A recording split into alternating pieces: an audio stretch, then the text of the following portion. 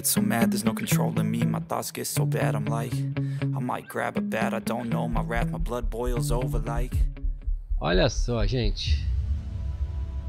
Bolsonaro constrange judi judiciário com vídeo de loop sobre urnas. Sem recontagem, a fraude impera, disse o presidente do PDT em 2021 ao defender o voto impresso. Esse carinha aqui, ó. Eu já fui brisolista, eu já fui pedetista. Hoje em dia, eu sou PL por causa de Bolsonaro. Voltei a, a, a, a ser político também, né? Por quê? Porque todos decepcionaram. Lula, eu nunca acreditei nele. Para mim, ele sempre foi um, um, um cara desonesto. É... Para mim, ele sempre foi suspeito. E ele comprovou que eu suspeitava, né? Ele comprovou. Tanto é que foi preso. Condenado em quatro instâncias. Então vamos lá. O ex-presidente Jair Bolsonaro PL causou desconforto, constrangimento judiciário. No vídeo, o brisolista aparece fazendo exatamente aquilo que seu partido condenou em Bolsonaro, que motivou a sigla a ingressar com uma ação pela inegibilidade do ex-presidente no tribunal TSE. Colocar em dúvida a confiabilidade das urnas eletrônicas tal como são e questionar a legitimidade do processo eleitoral no Brasil. Na gravação, Lupe afirma que o mentor de seu partido, Leonel Brizola, já sugeria a impressão e armazenamento do voto em urna transparente para que fosse feita uma auditoria caso houvesse qualquer dúvida sobre o resultado. Aí vem aqui a historinha toda, e já tá, vou, vou colocar o vídeo, que tudo que está escrito aqui, ele, ele fala no vídeo, que o Bolsonaro mesmo colocou. E se defendendo sobre as, as acusações, aquela enrolação do, do será o Benedito ontem, né? Cara, esse cara é uma vergonha. Esse ele é um ministro indicado pelo Lula. Esse cara é uma vergonha. É um lixo. Esse é um ministro que, que quer ser, quer ser é, ministro da STF. Meu Deus do céu, vai acabar com o STF. Vai acabar de acabar, né?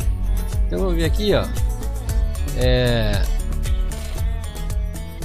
Então, vamos aqui. Vamos aqui ao, ao, ao vídeo do Bolsonaro. Ele fala, ó. No dia de ontem, 27 de junho, o senhor ministro Benedito Gonçalves, relator, deu o seu voto pela inelegibilidade por oito anos, sob a acusação de abuso de poder político numa reunião com embaixadores. Agora, o autor da ação é o senhor Carlos Lupe, presidente do PDT e atual ministro da Previdência Social do Lula. Veja o que ele disse há poucos meses sobre esse mesmo assunto. Desde o surgimento da urna eletrônica 25 anos atrás, nosso líder, nossa referência do partido, Leonel de Moura Brizola, já defendia uma coisa simples de fazer: a impressão do voto.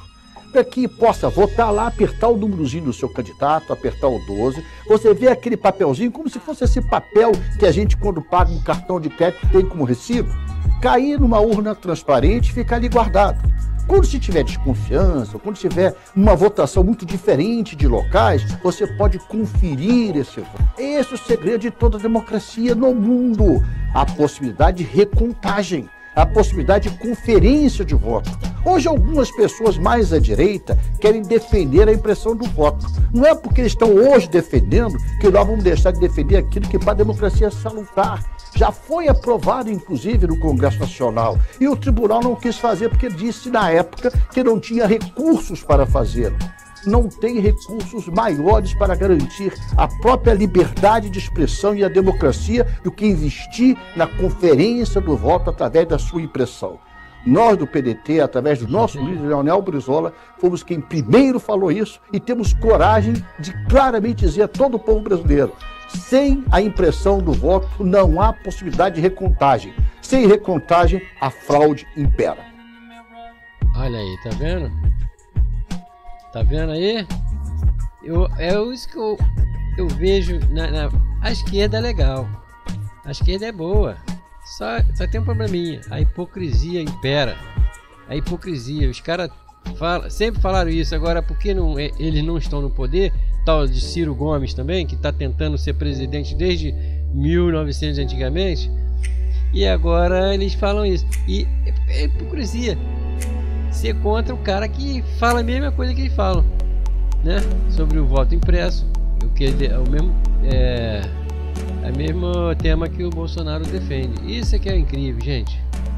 Então, nós temos aqui mais o que? É, deputados planejam projeto de anistia para Jair Bolsonaro. Temos também aqui no, no é, deputado cria projeto de lei para anistiar Bolsonaro. O julgamento do ex-presidente do TSA começou com voto para condená-lo.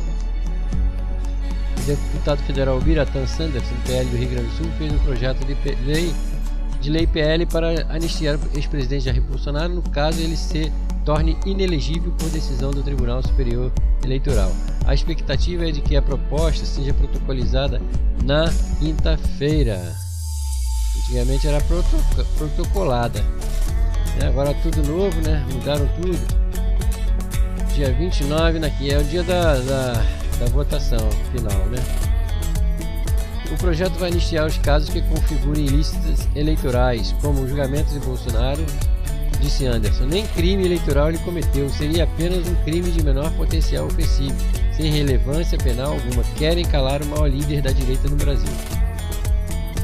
Conforme noticiou o Oeste, o julgamento do ex-chefe do executivo no TSE começou com voto para condená-lo. Depois de quase três horas de leitura, o relator Benedito Gonçalves votou na terça-feira 27 para que Bolsonaro fique inelegível por oito anos, prazo a contar a partir das eleições do ano passado. De acordo com Gonçalves, Bolsonaro cometeu prática de abuso do poder político e o uso indevido dos meios de comunicação.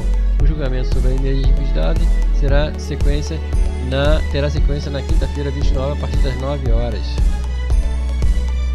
É isso aí. Então, vamos esperar para ver que sempre tem uma alternativa, gente. Nós estamos numa guerra e tem tem caminhos que você pode entrar que vai, vai dar ruim, outros caminhos que vai dar bom, entendeu? E a gente tem que tentar tudo. Vamos tentar tudo aí. O prejuízo maior foi, foi isso aí, ó. O, o Larápio está na presidência. Isso aqui, é o, isso aqui é o terrível que a gente vai ter hora que tem até que esquecer disso. Tem que até esquecer essa tragédia, né? Não era para ser isso, né? Para mim, Bolsonaro foi reeleito. Nada me, me. Nada me, me diz o contrário. Nada me prova o contrário, tá? Não tem prova? Tem prova? Cadê o papelzinho?